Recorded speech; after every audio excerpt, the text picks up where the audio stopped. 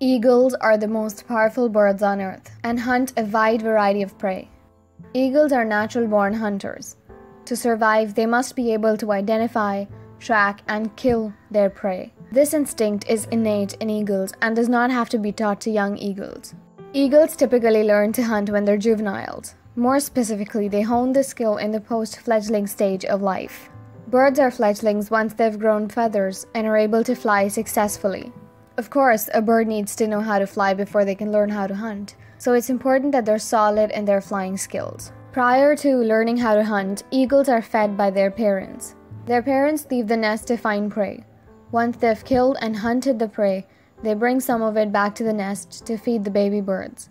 This can be a tiring and energy consuming task for the parents. So once eagles can fly, they're given more opportunities to provide for themselves.